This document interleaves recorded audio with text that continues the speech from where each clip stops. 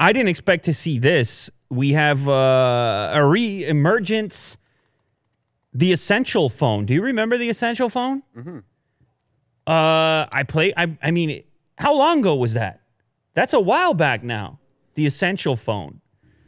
This, of course, was the device made by the former Android guy who then went to work with Google, Andy Rubin. It was this crazy, simple looking, stripped down, minimal mm-hmm. Android device. And it came in fancy colors. And at the time, we had seen notches, but nothing close to the type of notch that they put into the original Essential phone. It was the first kind of tiny little water drop. And it was, it was a bit mind blowing at the time. Yeah. We hadn't seen bezel-less. At the time, it just got a lot of attention. On top of that, it was essentially stock Android. Mm. No, I didn't mean it like that, Will. Yeah. Well, I see what you did there. Yeah, you see it. Okay. I mean, don't give me too much credit. All right. And it had the modules that went on the back, but it never really, I don't know how much steam it picked up from an adoption perspective. I never, anecdotally, I never saw them out in the world, but I thought it was a pretty cool phone of the time.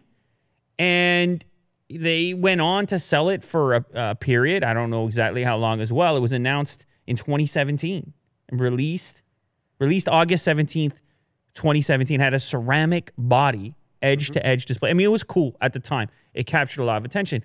But then you don't hear from them for a bit it just kind of, they just kind of go away. You don't hear about them for a bit. In the meantime, smartphones are launching left, right, and center.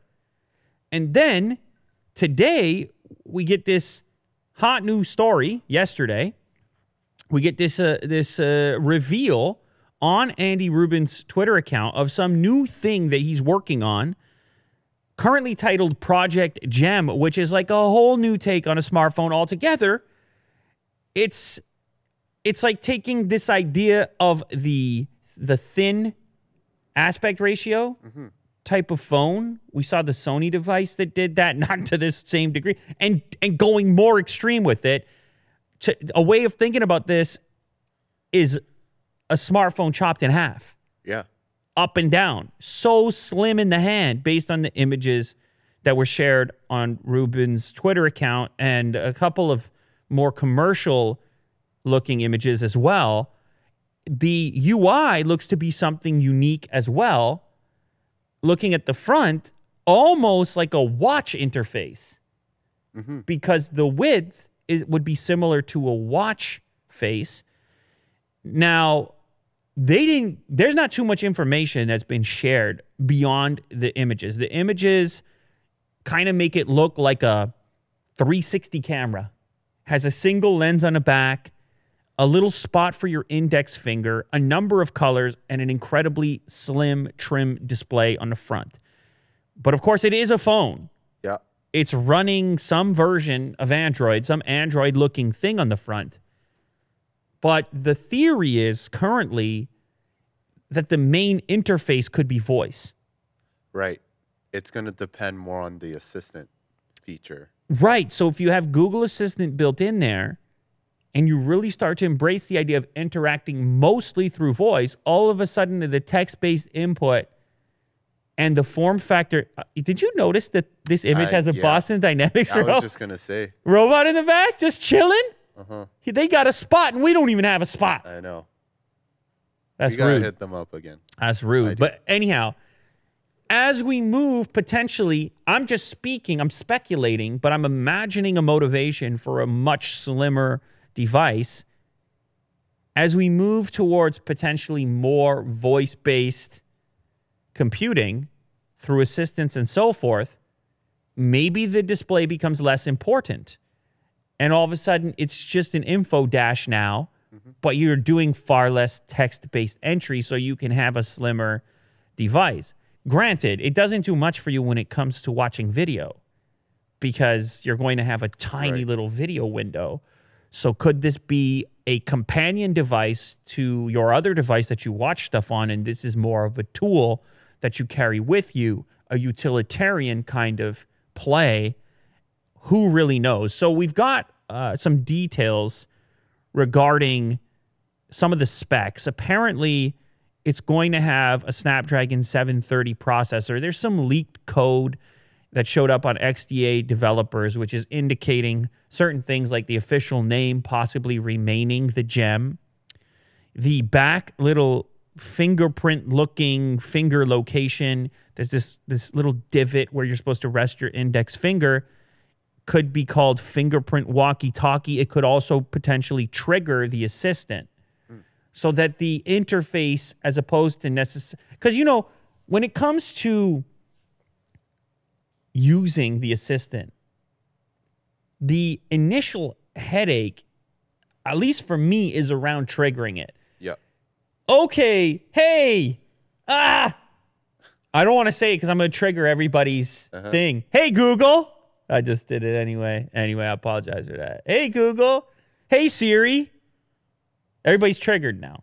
You see how that works, Very Will? rude. That's all it takes. I apologize for that. It just it was too hard not to once we had discussed it. Uh, but there's something uncanny about that moment right there. But the instruction feels a little more natural when you're just when you make might say something like navigate to Starbucks. Mm-hmm. That's for some reason feels much more natural. But how do you interact with a device through voice that isn't listening all the time and can't understand context and doesn't know what is a trigger and what isn't and what's an instruction and what isn't? Mm-hmm. It can't possibly know that.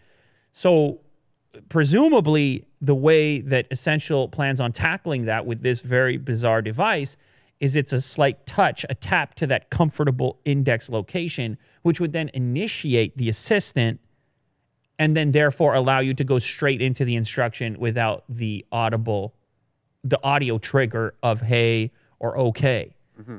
So that could be a nice, a nice little version of it. That said, the biggest drawback for people is going to remain the fact that this is not going to be an ideal consumption device.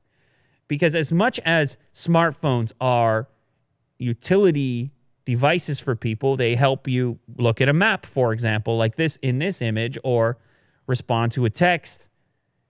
As much as they do, they, they provide you that functionality, for people, they're increasingly becoming the, the main consumption device, as seems to be illustrated in the growth of smartphone displays that we've seen occur recently. They've gotten huge.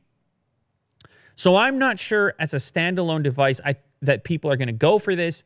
The price would have to be right, potentially as a companion device, an alternative device, but maybe not necessarily as a replacement. It'll be interesting to see. Maybe if they have some some really cool killer demos about why you should be interacting mostly through voice, maybe the case can be made. But in the meantime, it's gonna it's at least gonna get attention because it is so different mm-hmm. because of that very bizarre form factor. Now I notice there's a front facing hole punch camera as well. Otherwise, it's f- fairly full of screen. The screen to body ratio appears to be pretty aggressive beyond a hole punch front facing camera. But none of the information is official yet. All those details that I just mentioned are part of an XDA uh, leak that that uh, not an XDA leak. Yeah, it was on XDA developers. It was found in the code. Be, but Essential themselves hasn't shared that. They've only shared the images. But them sharing the images, it looks like a fairly finished product Yeah. this thing it, it would appear to me is going to be made certainly so i'm interested to check it out. I'm always interested in new form factors but i can see how many users would be skeptical that it could it could actually replace the smartphone form factor that they're currently enjoying. Nonetheless it looks cool for the time being. Uh, i've got this report here from pc mag exclusive. iphone owners not that jazzed about upgrading. So obviously we've talked a lot about the iPhone launch releases, 11, 11 Pro and so forth.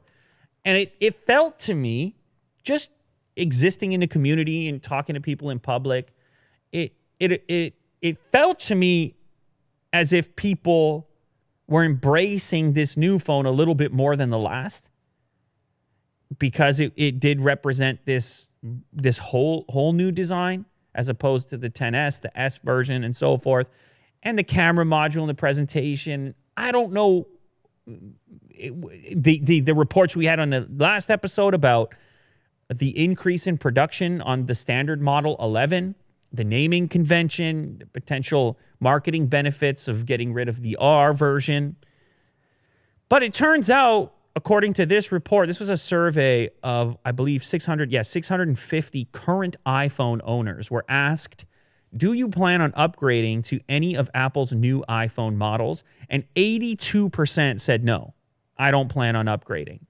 You had 5% that said, yes, I want to upgrade to the Pro Max. I plan on upgrading to the Pro Max. Uh, 3% said 11 Pro. 5% said standard iPhone 11. And 5% said an earlier existing iPhone. But the vast majority said, no, thank you. No need to upgrade. 82%, in fact. So this falls in line with the presumption based on data and and sentiment in general that people are holding onto their phones longer. Mm-hmm. We're, we saw as we've looked at graphs on premium smartphone sales in general, we see this kind of plateau, this fatigue that's set in, and here is this survey supplying some evidence that that's a real thing. Apple iPhone owners are hanging onto their phones for longer and longer and aren't in, interested in this year's super expensive upgrades, according to the survey. 650 iPhone owners surveyed, 18% they planned on upgrading this year. 61% said they wouldn't pay more than $599 for a new iPhone. And 69% said they expect to hang on to their phone, their next phone, for two years or longer. So a lot of people plan on lower expenditure in the first place and beyond that to hold on to them for a long period of time. This, this is there's potentially two reasons for this. Obviously, the overall greater economic situation and and what kind of money people have at their disposal, and then also the perceived benefit of upgrading. Mm-hmm.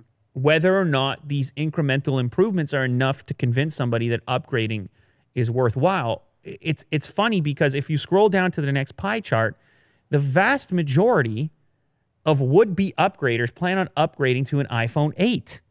43% of respondents will go from their current iPhone to an iPhone 8 because of the price, oh. even though the iPhone 11 isn't that much more than an iPhone 8. So the iPhone 8 currently 449, the iPhone 11 699.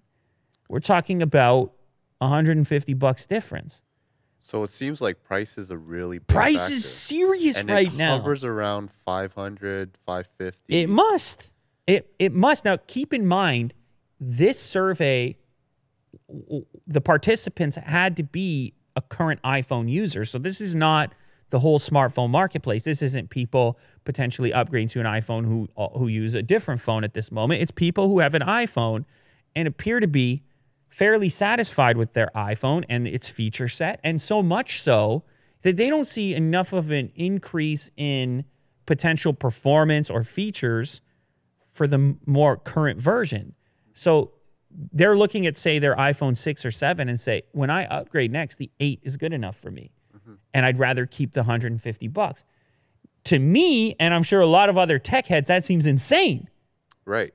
We will want the latest and greatest, just, you know? I just not necessarily the pro version, not necessarily the thousand dollar version, but the six ninety nine iPhone 11 versus the 450 iPhone 8.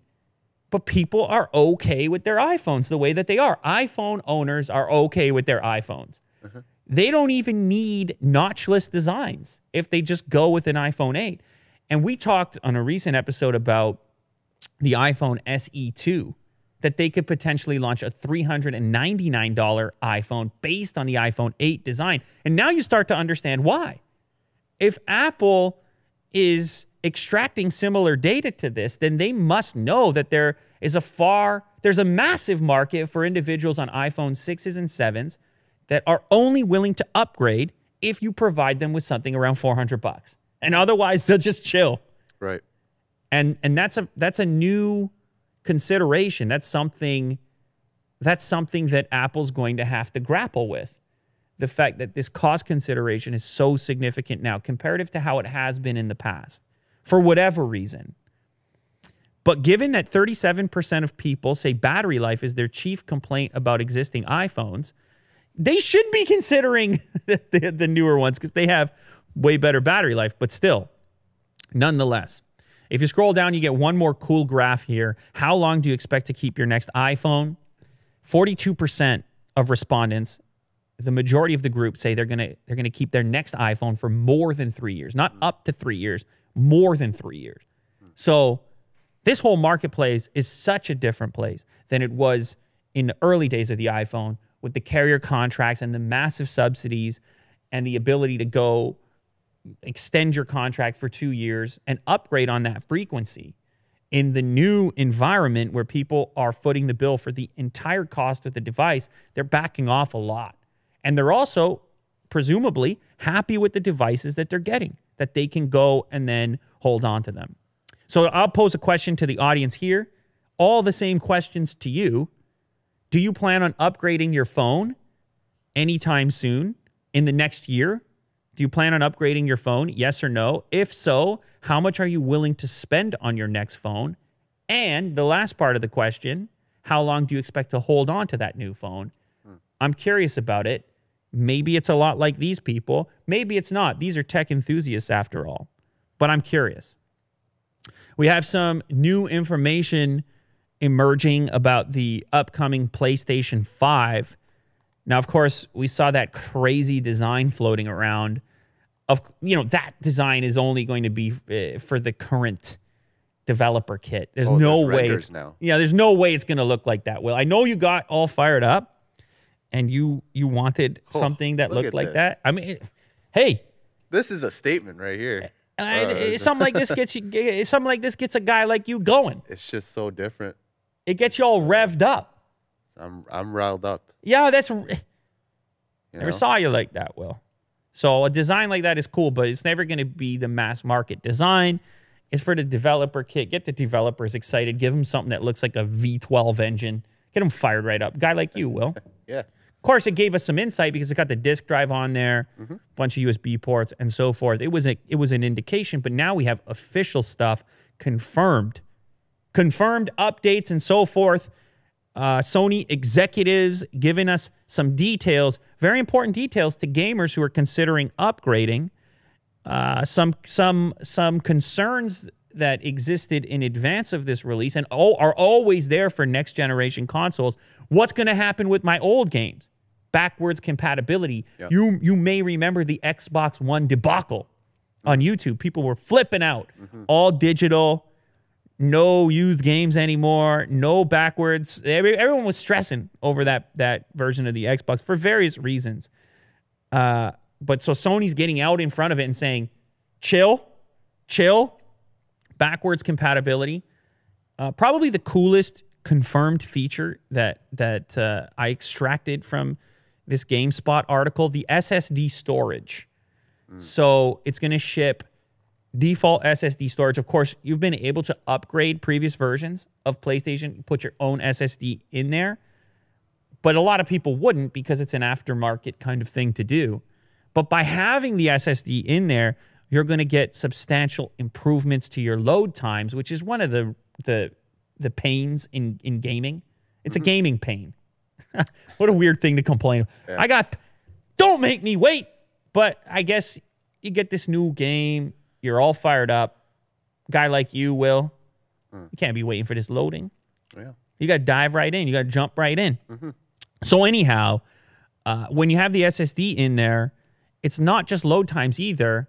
It it actually improves the performance potentially of the system enough that game developers can approach faster movements and, and, and things within the actual game and cutscenes and so forth. Hmm. It just improved the overall performance, just like on your computer, right? It- And SS, SSDs were a huge upgrade to laptops and the feeling of sta- snappiness in general. So Yeah. you'd assume there'd be a wide variety of improvements to your console also having an SSD. They showed off uh, some load times. In fact, there was a it was a Spider-Man game. In fact, and they per, they compared the performance of the PS4 Pro versus the next gen in order to load a particular game. It's uh, some next gen Spider-Man game. Which one was it? It was Insomniac Spider-Man. Oh, just the Spider-Man game. I played that game. Remember that, Will? I played that game in the well, I played it in general, but I played it in the Origin video when we had the computer with all the consoles built into it. What a wild situation that was. Oh no, you played it too. Yeah, that game. Great, cool game. I but got my butt kicked from uh, Kingpin.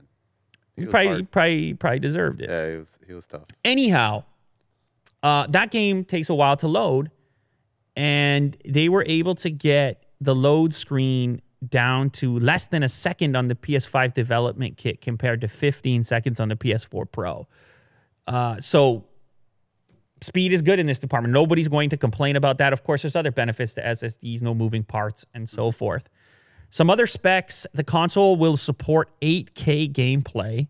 That's pretty wild, or 4K 120 hertz. Mm. Those are some wild specs from a horsepower perspective. It will also maintain a disk drive. They will not be going diskless, even though, of course, that's always a rumor with any next generation console. Maybe they're just going to move on completely from discs and go all digital. You had the Xbox One S all digital edition, for Yeah. example.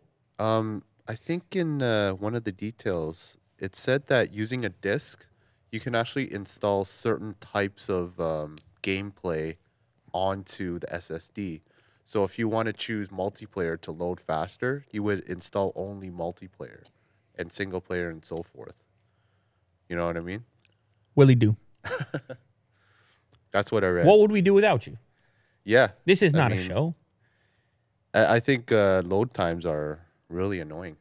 You know? and Yeah. you can just. I mean, we gotta we, we gotta have you in here for that point of view. Yeah, those little details. The Little, nuance. yeah, that's right. Just keep the thing in check. Keep it on the rails. It's a beautiful thing. Yeah.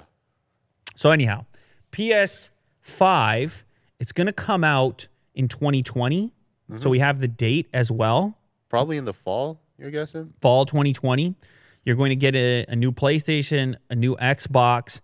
You're going to get extra horsepower, which is what you're looking for. You're going to get backwards compatibility, which is also what you're going to be looking for. Uh, it's also going to work with PSVR, so you still get the VR stuff going on. It's going to be more energy efficient. The controller Yes. is also going to see some pretty cool stuff. They're going to move away from the rumble situation that currently exists and towards haptic feedback, which gives a lot more control over the way Yeah. that the vibration feels. Uh, the example given here is like crashing into a wall will feel different than gunfire, something like this. Yeah, like holding a bow and like, you know, releasing it is different from like firing a trigger of, you know, a weapon.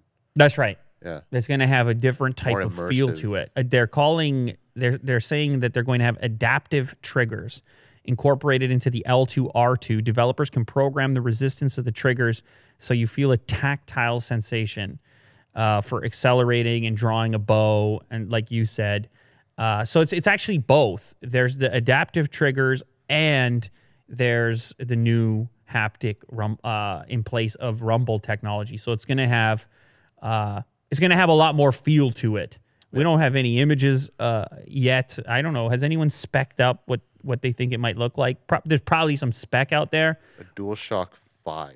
That's Dual Shock 5 is what it would be called. Do we have any images, any leaks, any renders? That one has a screen in it. No, I don't see that happening. Anyway, you know it's going to have the similar inspiration. Oh, there's a leak. What's that leaked? PlayStation 5. Oh, that's the dev kit controller, so it does have a screen in it? Ooh, that could be wild. I don't know. Don't don't uh don't listen to Willie Do on this. He might be out to lunch. I don't know. I mean, this is pretty cool. That one, yeah, that, that- that's not going to happen. But anyhow, the controller's going to see some improvements. Lots of improvements coming. PlayStation Five coming. Oh, they also said it's going to be, it's going to make the price will make gamers happy. Uh, considering the spe- that's all they said. They don't just give you a price. Yeah. They say you're going to be happy with it. Imagine that. You launch a new product. They're like, "What's the price?" You're going to be happy with it. Shut up. You're happy with it. Uh, but I think what they mean to say is, in their opinion, Right. given the hardware you're getting, you know, Will, traditionally consoles have been loss leaders because they want to sell the software. So they would often, especially for the first version of some of these consoles, they would uh, sell them sort of at cost or close to cost, and then they'd get better at making them over time. and could, Yep. could sell them for a profit. I remember hearing this uh, PlayStation Three.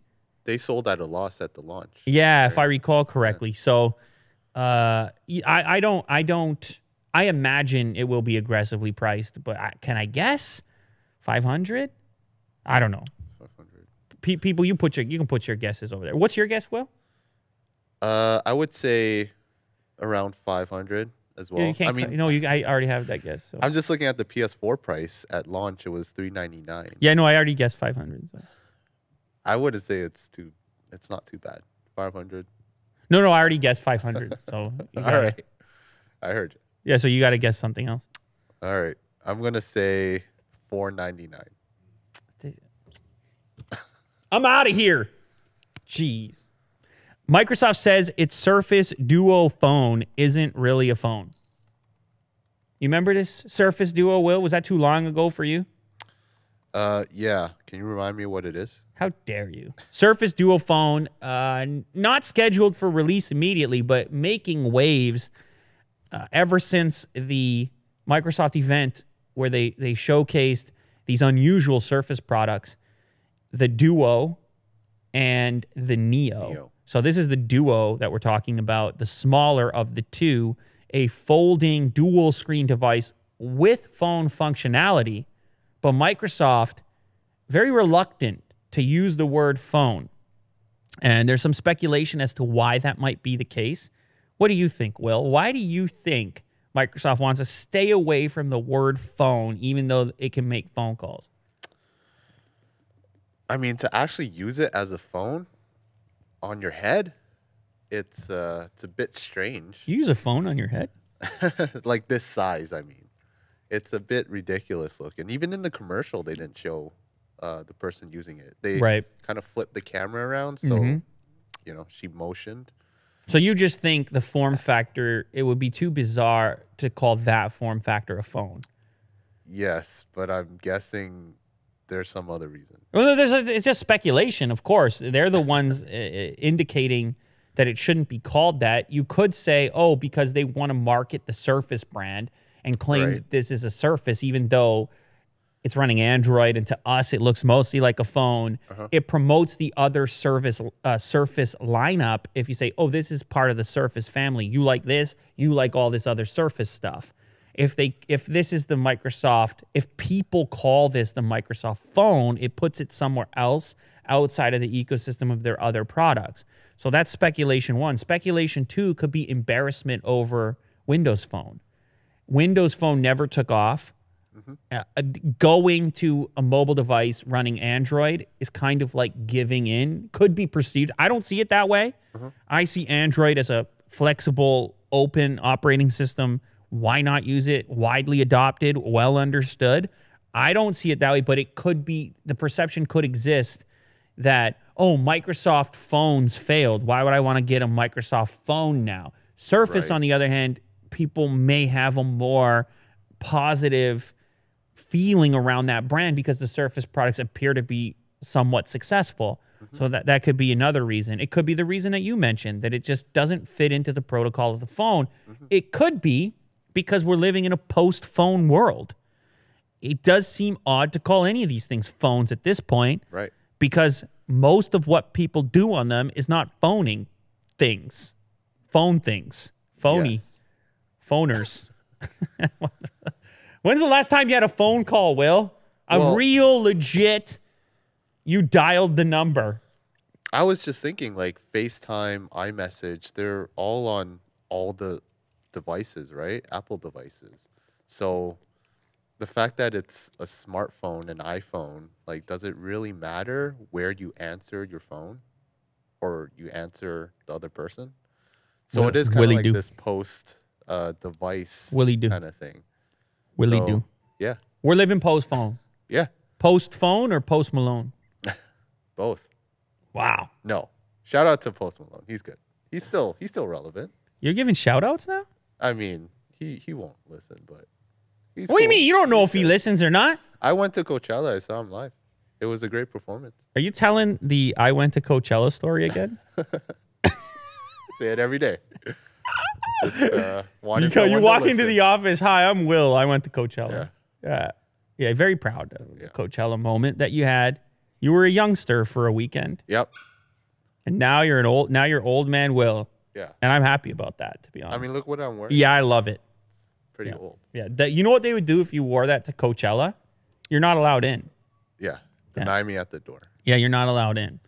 Anyway, exciting times, regardless of what they want to call it. I'm kind of with them. It's a new form factor. Why bother with the whole phone baggage? I get it why pre existing phones are still phones. And of course, we use the smart word to kind of imply, well, it's more than a phone. But increasingly, it's kind of strange to call to refer to these things as phones when so few people are actually making phone calls. It made a lot of sense in the early days, like let's say the original iPhone, when the majority of how you were using that thing and the thing you were replacing was primarily a phone.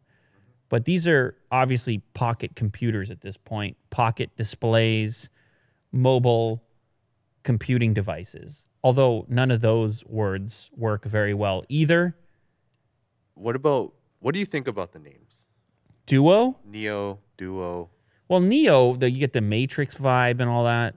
Mhm. I don't know. Yeah, I don't know, Will. I maybe the surface piece didn't have to be applied to the two smaller models. Right. Maybe you don't need to tag everything on. Maybe it gets confusing what's a surface. I don't. Although the word surface is so futuristic. Actually, I take that back. I like it. It's just a surface. You see what I'm saying there? Mm-hmm. All your gadgets are just a surface. You make it what it is. It's a surface that can display whatever you please. The surfaces are interchangeable. This is a dual surface device, Surface Duo, Right. Right? You see what I'm saying here? And and it kind of speaks to their approach to hardware too, which is get your surface any way you like. Yeah. You want a surface that detaches from a keyboard, get that surface. You want a surface that's a book, get a Surface Book. Whatever surface you want, these are just surfaces. I think it's hmm. kind of cool. Actually, I take it all back. Go for it, Microsoft. All right. Go for the surface stuff. It's fine. It's futuristic. Samsung closes its last Chinese manufacturing plant as sales plummet. I didn't realize this. Samsung does not manufacture, they're done in China. I was, I guess maybe I should have known that because I've been looking at enough Samsung devices. It's always made in Vietnam. Hmm. The majority. Where's this one? Yeah. Oh, this one's made in Korea. Galaxy Note 10 Plus. My Note 10 Plus here is made in Korea. Oh, okay. But anyway, often for the premium devices, they're coming from Vietnam, but apparently they were still making some of them in China in their one last remaining facility, which is now set to close. Uh, they abandoned the Chinese market almost completely, as well as far as attempting to sell to Chinese people. This story is coming via techspot.com. In 2013, Samsung held the top spot in the Chinese phone market with a volume share of 19%. But last year, they couldn't even grab 1% of the Chinese market well. So they went from 20% of the world's biggest smartphone market, I believe. 20, that's big. 20% of the world's biggest smartphone market in 2013, although it probably wasn't the world's biggest smartphone market in 2013. Nonetheless, a very big market. You go from 20% to less than 1%. Now, of course, we can speculate that the reason for that is how competitive the Chinese manufacturers have become themselves. Brands like Xiaomi, Huawei, uh, Oppo, Vivo, so forth, the various options that exist now that in 2013 were nowhere near as advanced as they are now. They may have existed, but to a lesser degree. Uh, so Samsung obviously hurt by that or finding it difficult to compete. And then you got the trade war on top of that, which of course applies pressure to various manufacturers to to to diversify their production chain. They they moved pretty much everything at this point to Vietnam, India, uh, in this case with the Note 10 Plus, Korea. Uh, they currently employ 200,000 workers in the in the Hanoi area to produce nearly 150 million Galaxy devices. Those devices destined for East Asia, America, and European markets.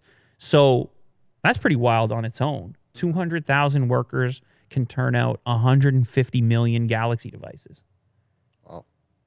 Yeah, we're not we're not very productive, are we? No. How many Galaxy devices have we turned out? Yeah, zero. Negative. Yeah, that's what I thought. So 150 million devices. So their their main production hub now appears to be in in Vietnam in that area. Now, despite struggling in the world's two largest markets, that's that's uh, China and India, where they've been trying in India, as we've documented in the past, to bring in these new product lines to do a better job of com- competing with companies like Xiaomi, who are very popular in that region.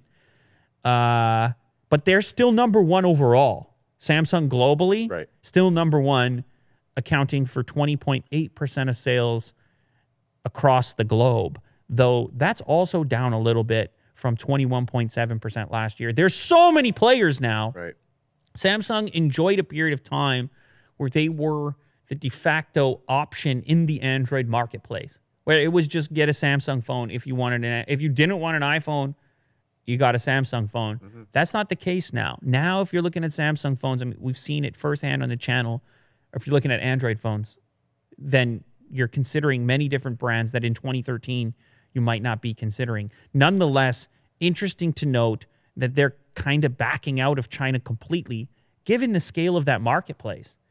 That they're just uh, they're moving on, moving along, and closing that facility. So not only are they uh, not only are they kind of moving out of the market from a sales perspective, but also moving out of the market from a employer perspective. So interesting development. Another interesting development: Apple appears to be uh, getting a little friendlier. They're going to start selling Microsoft's Xbox controller, or they they already have started selling the Xbox controller on the Apple website. Now you brought this story to my attention. Very interesting. Yeah, they're working together. What do you have? What do you think about that, Will? I think it's cool. I think it's good. I think it's cool. Um, Apple, uh, I think they created Apple Arcade, and um, you know, if they were to create um, a controller, I wouldn't be surprised. It's just at least right now, this is the interim, and uh, Microsoft is uh, on their site. It's interesting. It's Gaming. interesting. Yeah. Gaming is bringing the mega brands together. Well, in the earlier story, what was it we were talking about where there was a crossover? Oh, with Microsoft and Android, Microsoft and Google, they say, okay, we'll make this duo and we're going to throw Android on there and it's cool and we'll be fine with it and people will benefit. This is another example of that. You have this Apple Arcade product. Many people are already familiar with the Microsoft Xbox controller layout. If you don't have a better version engineered right now, who cares? Sell it. Who cares if you didn't make it? Sell it, make people's lives easier. Right. That said, it's important to note you can generally get it for less than 60 bucks if you buy it elsewhere. Yeah. So Apple's charging you full pop. As they do. I I mean, it's just worth mentioning. Don't buy it here if you are going to buy it, uh, or buy it there because they it's in stock and it's free shipping, mm-hmm. and it, you can pick it up. So the pickup button being there also implies it may show up in the store. Right. You might see a bigger push for Apple Arcade in general with accessories aimed at improving your arcade experience. They could have one of those, you know, like a module in the store mm-hmm. something like this.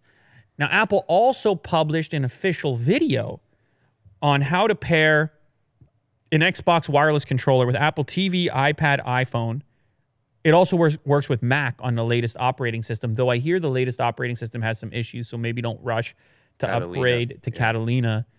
Uh, but nonetheless, this uh, this controller is going to work natively with those various operating systems, and of course, that will unlock a better Apple Arcade experience for you Exactly. Than what you're capable of getting without a controller. And mm-hmm. Apple making the official video, I think, is also significant. They're not just quietly selling it; they're almost encouraging it. Yeah. At that point. Now, Apple is not listing the Sony controller. If you're a Sony person, a PlayStation user, and you're comfortable with the Sony controller, it also works.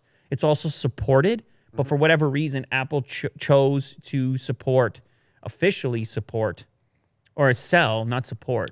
They chose to sell the Microsoft controller over the Sony controller for whatever reason, but both of them will work. Yes. So you're supported on uh, on either side, regardless of which controller is more comfortable to you. Get out there, kids, and try Apple Arcade. I, you don't have to do that. Apparently, they have really good games. You're Pretty into it? Games.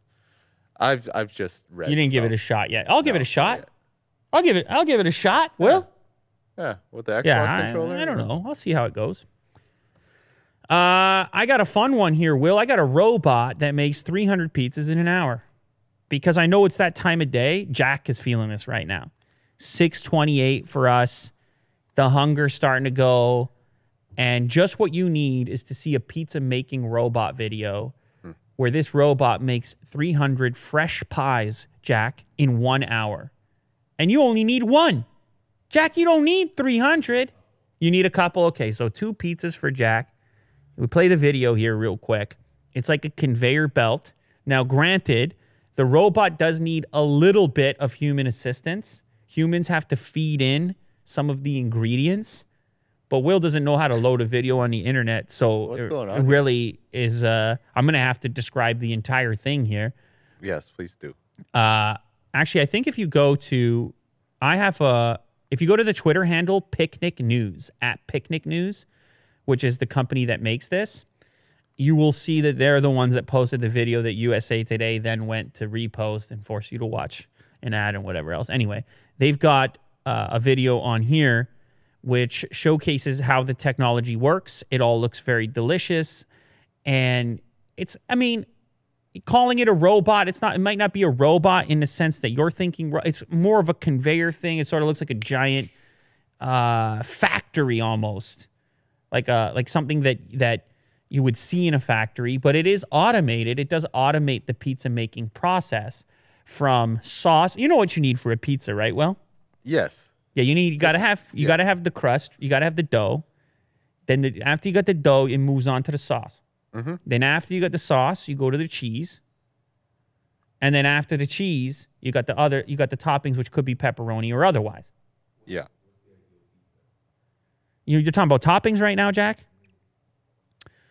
I'm, I like green pepper. I like pepperoni, green pepper, and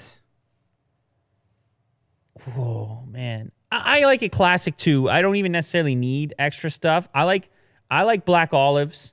I like onion on pizza. Man, I don't have a go-to. I think what I like is to mix it up. But that'll give you an idea of where I'm going typically. I'm going in that direction typically for my go-to. But anyhow, this they're not trying to eliminate people completely from the equation, by the way. Oh, we will got the video. Will he do? I was this- is this I, the video? I was giving up hope on you for a minute there. I was like Yeah. It's, I, I uh, was I was thinking it's was done. rough. Look at this. Okay, so here we go.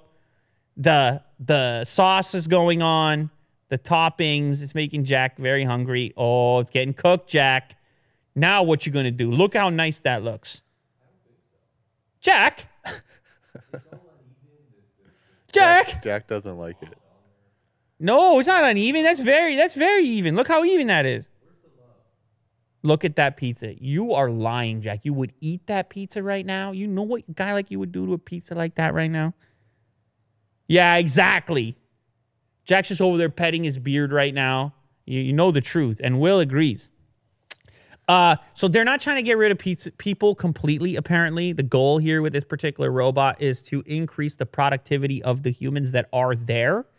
They have a couple of installations at the moment, including Seattle's T-Mobile Park baseball stadium, to speed up the pizza making process. People get fresher pizzas, Will, which is what you would want.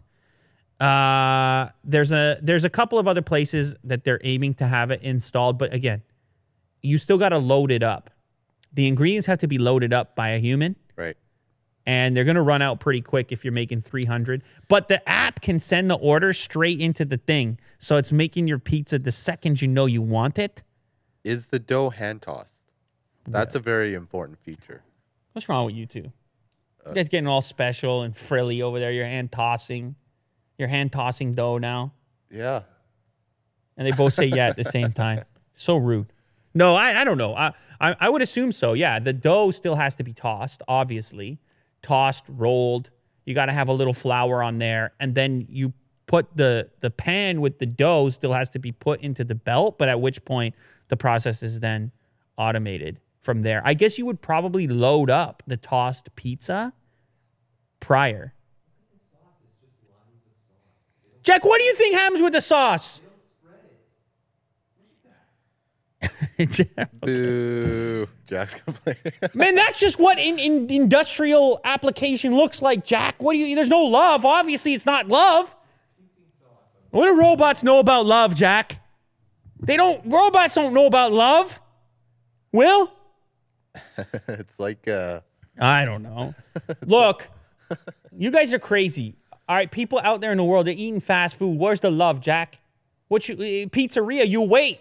You, you you can go to a pizzeria. I'm not arguing against a fine pizzeria. You can wait. But there's a lot of fast food out there in the world. People they don't they want convenience. So you got to appreciate both sides of it. I'll I'll wait in a pizzeria. all right. Yeah.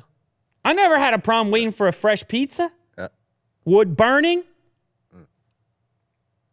The right the, uh, the, the the the crust is crispy on the outside, soft on the inside. I never had a problem. The sauce, the tomatoes, I never had a problem. no, yeah, I don't need cheese in my crust. There's enough cheese on the thing to begin with. All right, staying in the robot zone because that's what you would do. Although this is not exactly a robot, this is a great story. This is a cool story. It's on Popular Mechanics. Paralyzed man walks in brain controlled exoskeleton. This is just major cool factor, Will. I don't know if you know what's cool or not, but this is major cool factor. Really? Yeah. All right. I'll note it. So check this guy out. You have a, a legit exoskeleton. He was paralyzed. There was some sort of an accident. He fell off a balcony in a nightclub and he was paralyzed, I believe, from the neck down, with the exception of a little bit of feeling in, in one of his arms left over, but basically couldn't move at all. And now they they've given him a brain implant, semi-invasive brain implant. They trained it using his own thoughts, his own uh, signals that would come via your brain into your movements, and then map that to a physical exoskeleton that allows him to move around like a human. Huh. Uh, not in a wheelchair. I'm talking legs, arms, and there's a video on here. Where's the video? There's a video of him walking. Or maybe that was on YouTube. Maybe you have to go to YouTube to see that. Maybe that's not in this particular article. See if you can find it. There it is. That's the video. It's it's not perfect. All right, he it's not moving super quick and he's in a controlled environment, but he's moving. And that's his brain doing it, Will. Hmm.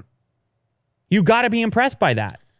Yeah, he's taking like no pun intended, the necessary steps. Like you can see the motion of him stepping, like one foot forward. This It's is how they like- trained it with these tiny little movements, hitting these dots. Even prior to the suit being built, there were little video games in which he would use his mind to train the software mm-hmm. to eventually figure out how the impulse, the thought should then turn into a- an action.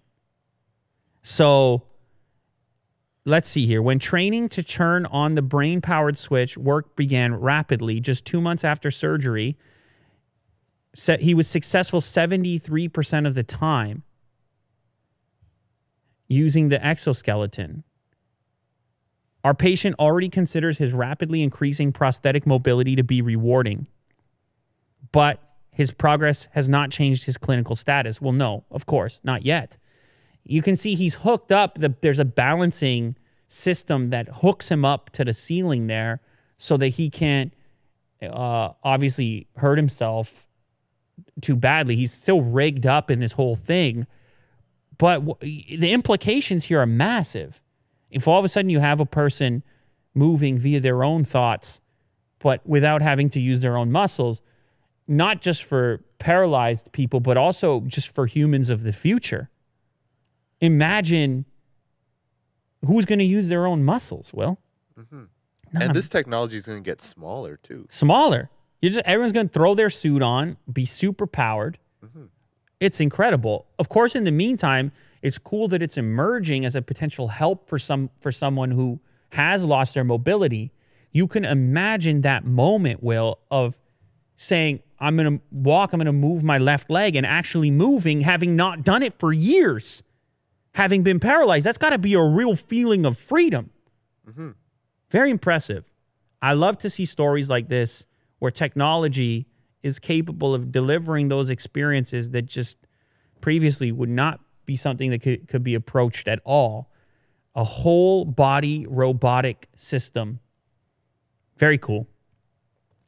Uh, speaking of very cool, China had uh, grew a plant on the moon. That's a pretty wild story. It's never been done before. It marks the first time a plant has ever been grown on the moon. They delivered a number of different species of plants to the moon in order to see if anything would take. And it was actually a cotton plant that sprouted some leaves. How did they get it there? Spaceship, well. They didn't land. They probably sent a probe, right? Something? Yeah, they put a yeah, a probe, of course. Oh, I see. Yeah, how dare you? you thought you thought that went under the flew under the radar? Well, I thought Just like you had to moon? plant it, like literally under the soil of the moon. Yeah, they became the first nation to land a spacecraft on the far side of the moon. The lunar rover carried among its payload a small biosphere that housed six life forms, including cotton seeds. Uh, the problem was it didn't last very long. So that they got the sprout, and then it was really cold, as it would be on the dark side of the moon. Yeah, yeah, shout out Dark Side of the Moon. Obviously, people know what I'm talking about there. But nonetheless, they they it showcases maybe the robustness of the cotton plant and the potential future in which we are harvesting the moon. Well, or I don't know, living there. If you get it heated up, why is it always Mars with with uh, Elon Musk? What what can't we do the moon? Or Does he want to do the moon first? It's uh, most habitable. Is that a word? Well, I don't know.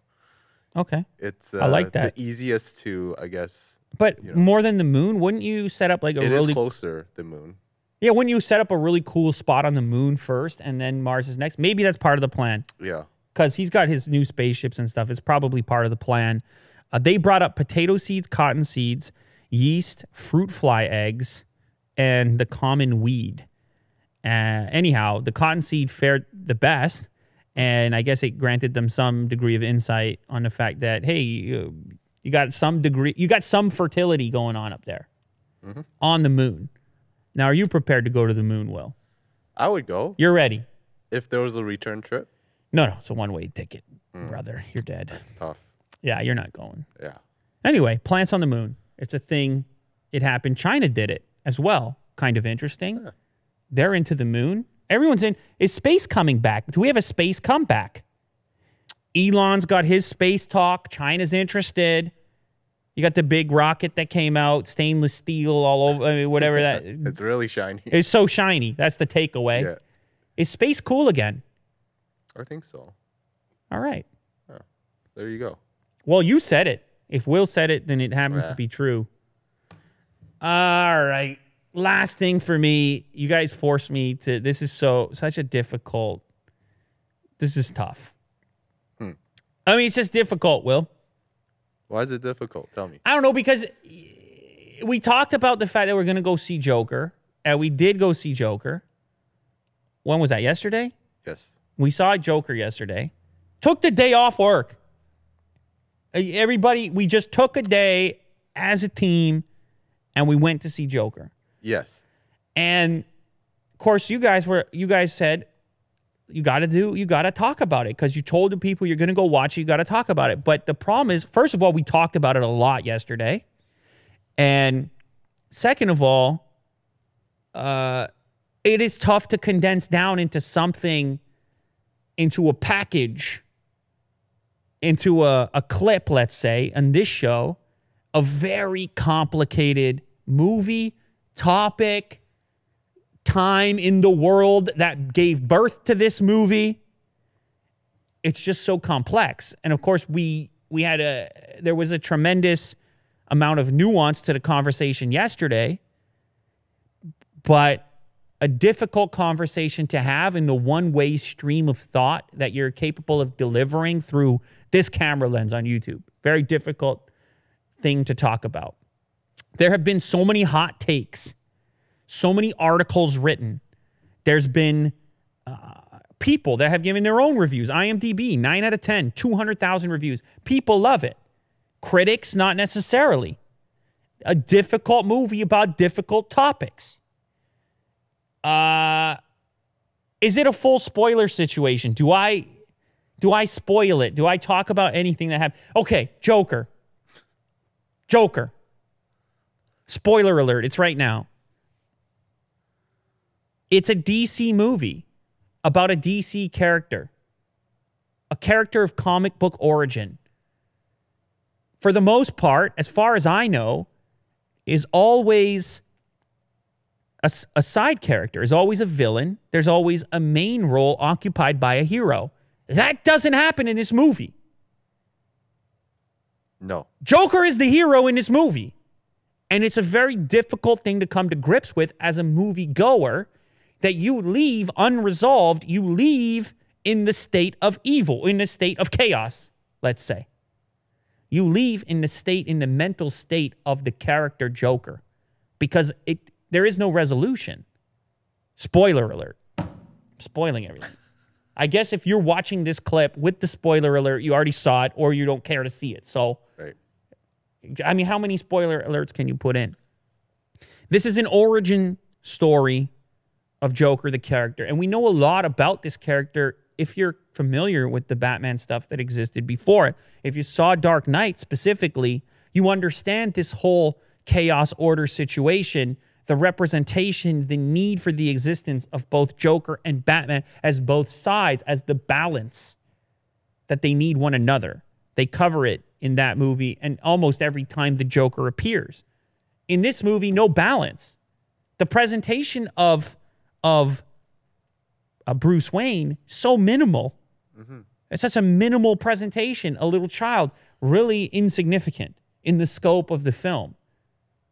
This is a film, a huge film, a hundred million dollar plus film, where the villain is the hero mm-hmm. in a comic book sense. From a comic book origin, it's unprecedented. As far as I know, at this scale, there was a comic book. This was loosely kind of based on the Killing Game, The that- killing joke. Killing Joke, sorry, the Killing Joke, which would have been one of those rare cases, I guess, where where this was, uh, where a lot some of the inspiration for this particular movie would have been born, but otherwise, this is a rare occurrence and it's an uneasy thing. It's rare for me. I said this earlier to see a movie that I really appreciate, a movie that I think is good a movie that I think is well done, a movie that I think is probably a masterpiece that I don't really like. Do you see, you see how conflicting that is? And the reason you don't like it has nothing to do with the movie itself. It has to do with what you think it means or how you think it might be perceived. I think for the wrong person, it could be a dangerous movie to watch. That's a controversial opinion. People say none of this stuff has an effect on anyone. People say uh, video game violence, leave it. That doesn't make a killer. I don't think it makes a killer either. Uh, but I watch a movie like this and I see the elevation of this particular character, and I say to myself, how for the how are you supposed to receive that? This guy was hard done by. He was treated terribly, and he wanted to treat other people terribly. And you can imagine, you can you can imagine why that might be the case. Mm-hmm. You can imagine why you would want to act that way. You can imagine why you would want to burn everything down had you found yourself in a similar life position philosophically. You can understand that point of view. And this movie exists to help you understand that point of view if you can't to put you in that place. And it does so incredibly effectively. If you need a checks and balances system for your life, for your current state of mind, for your position, you can watch something like this and potentially appreciate that more. Right. You can watch something like this and maybe change the way that you treat people. It all depends what you want to take from it, really. Subjective. but that's that's art, really. That's art. I think the difference for me and the reason if this was an art film and it wasn't positioned as a superhero connection whatsoever and it wasn't the scale that it is. In other words, it wasn't so popular. Kind Like of a indie flick. If, if it was just an indie flick, I feel like it would be easier to receive it correctly. correctly. you it would be easier to it would be easier to make sense of it. right. The problem here is it comes in the existence of this comic book world, which typically presents you with balance. This movie has no balance, just chaos. yeah. It is two hours, two hours and 25, two hours of chaos and two hours and two minutes. And the celebration of chaos, Right. which is an uncomfortable concept. Granted, I understand the purpose. I understand that if we are to feel the mind of an individual like that, a downtrodden, depressed, potentially mentally ill individual, then you're going to we're going to give you 2 hours of that. We're not going to give you the resolution because the individual in that state of the, in, in that state of mind doesn't get resolution. It's never resolved for them. Mm-hmm. The fe- the feeling of life for that individual continues like that. When when he encounters various individuals who he feels have done him wrong, he has one solution for that. Mm-hmm. His resolution becomes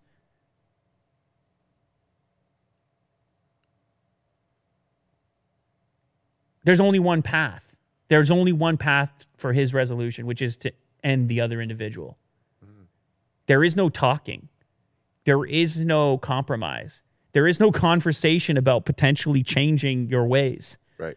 or embracing or understanding where he's coming from. He his communication method becomes more chaos and more violence. Look, I get it all. I get every single take on it. Do I think do I think that it should have been made? Absolutely. I think this is a sign of the times. I think it's a thing. I think it's a movie that's about right now. I think it's a I think it's a movie that tries, it aims to make sense of some of the craziness that we experience in the news, some of the the sentiment around the noise on the internet and the communities that exist and the powerful and those that feel powerless. It's very right now, this movie, but it's also the past. Obviously inspired by films like uh, Taxi Driver, which played with these subjects once upon a time. I remember watching that film a bunch of times. Yeah. And this movie was based in the 70s. Yeah. You know. York. difficult topics are going to be difficult to watch. And there's no way around it. There was no way to wrap this one up with a bow tie. And to be honest, I'm happy they didn't. I'm glad they didn't. I'm glad that they attempted to portray it in this accurate fashion. I suppose the message that I'll put out, and I don't I don't know if anyone else is, is I just hope that people are able to Im- imagine the alternative philosophical viewpoint while they're embracing this trip down this chaotic path that you are capable of filling in the missing piece the balance that would normally exist in this form of narrative there is no balance here you must bring the balance when you watch this mm-hmm. and that's a lot of responsibility for the viewer. And I hope people appreciate that. I hope people take that seriously. It's a serious thing. It's a heavy, it's a it's some heavy subject matter. But because of the superhero aspect, I feel like it, it- people are going to interact with it that aren't looking at it with through that degree of severity. Right. They're just going to go, it's, a, it's Joker, it's the Batman universe. Of course I have to see it. Right. But it really, the Batman component, where was Batman? Yeah. They ain't no Batman. It's not even like, it's not even a ba- the Batman equivalent on the flip side because all Batman movies need the Joker. This Joker movie did not need Batman. Yeah. There needs to be a yin yang balance. That's what you normally look for. You want to make him the main character. Okay, that's one thing. Look, I'm glad they made it the way they made it. They wanted to give you two hours of chaos. They wanted the average person to experience two hours of chaos, zero resolution. But I'm telling you, that's the way you leave the movie theater.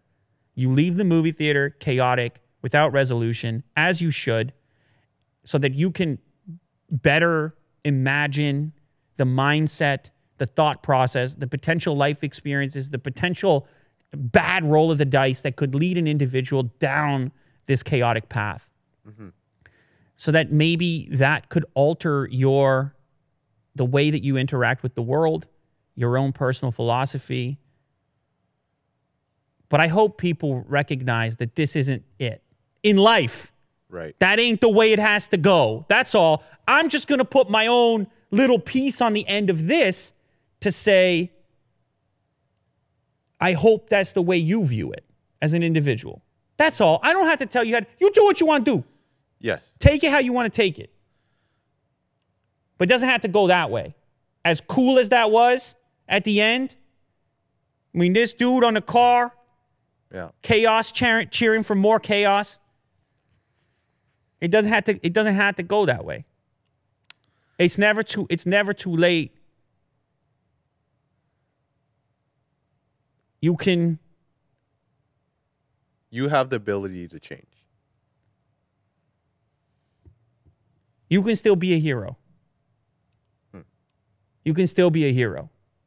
He could. He did. You can still be a hero. That's all. I don't know. On that note, though, Uh oh. just bring it to a, a lighter side. Joaquin's performance. Oh. Oh, as a movie, as a technical delivery of images and sound, Todd Phillips. oh my God. I was lost. I was gone for two hours. You can probably tell based on this talk. Yeah. I don't see a lot of movies, I should also say. People are like, man, why are you being so serious? Like, geez, You don't out. even You go just- to the theater. you just saw a movie. I don't see a lot of movies, so I don't I don't really escape for two hours very often. So that probably added to the impact it had on me. Yeah. Because I just don't get to do it that frequently. And then now I'm back in the theater and I got you you you, you feed me Joker. You Yeah. know? I don't I, I hope people don't take this the wrong way. Like that I'm trying to I don't know how people are gonna take even what I said here. I'm I'm saying it's an important movie. it's just Uh, a take. yeah, I'm saying it's an important movie. I'm saying it's really well done. I'm saying it's an important movie, and I f- and I and I feel like uh, it's it's the most accurate. It's a it's an accurate representation of the times of the vibes. That's all. That's all. That's all. uh, That's all I can really. You wanted me to talk about it. It's difficult. I told you it's complicated. It's difficult. It's complicated. It's Yeah. difficult. We'll see. We'll see what happens next. But you told me earlier that uh, he, Phillips was interviewed as to whether or not Batman would make an appearance Mm-hmm. in any of his films if he does a follow up. He said no, right? Yeah. Yeah. It's so a standalone. That Oh. was his intention. it's a standalone. Yeah. Okay. So there's no sequel or anything. No. All right. Well, if you if you want to if you want to experience two hours of chaos just to inform yourself, and then you go back to life after, this is this is probably. Well, beyond chaos, it's also a you know a great movie. I didn't mean it in a negative way. technically I didn't. I don't mean that in a negative No, way. no. Experience two hours of chaos because it's foreign from your life. Because you should understand the depth of it. Because you don't get to have a taste of two hours of chaos in your life. So if you if everything's wrapped up for you and you think it's simple and and and and everything's wonderful, it's just not for everyone. And this movie exists to showcase to, to the perfect world that it ain't perfect for everyone. You see what I mean, Will? It's mm-hmm. it's trying to show you, hey, come into this world for a minute. Because it is over here. Not to not to not to justify any actions that he that take place for him in a, in a, in a, in the movie, but the movie exists to show you the other side of the coin. Because I guess I guess it's easy to ignore, Right. right? The thing starts out with a garbage strike, a garbage strike. Yeah. It's easy to ignore. It's easy to ignore the downtrodden, the people that are that kind of ignored, uh, uh, avoided by society. Okay, that's a, look. You got me deep in this. You got me deep in this. It's just it's it's it's a heavy situation. A- anyhow, nonetheless, everyone's going to see it, so it broke the records for October. People are interested. If you saw it, I want to hear what you have to say down in the comments. Obviously, uh, this is not open and shut. I don't. I'm not trying to to put to put a message out there that's li- like dictating what it means for the record. It's it's art. It's open to interpretation. That's what's cool about it. Uh, I think this one requires some. This one requires some energy from the viewer to really Yeah. to really participate, to really dig in. So that and maybe that's the message. Dig in. Dig in if you're going to go for this one, dig in. This one's there's a bit of work in this one. Yeah. On the, from the viewer perspective. I agree. All right. Well, uh that's I mean, Yeah. what do you got? You want you to No. start? No. Yeah, you do. No. Yeah, you do. I. Uh, You got one more. go for it, Will. I'm not trying to sidetrack your final topic. I thought we were gonna end it with the Joker, but uh, Oh, so I was supposed to go to your topic earlier. Okay, save your topic for next time. Yeah. All right, that's a cliffhanger. There you have it. Joker, lots of other stuff. It's heavy. There's a lot going on. Uh, you know, live your life. yeah, Do what you got to do. yeah, Do what you got to do.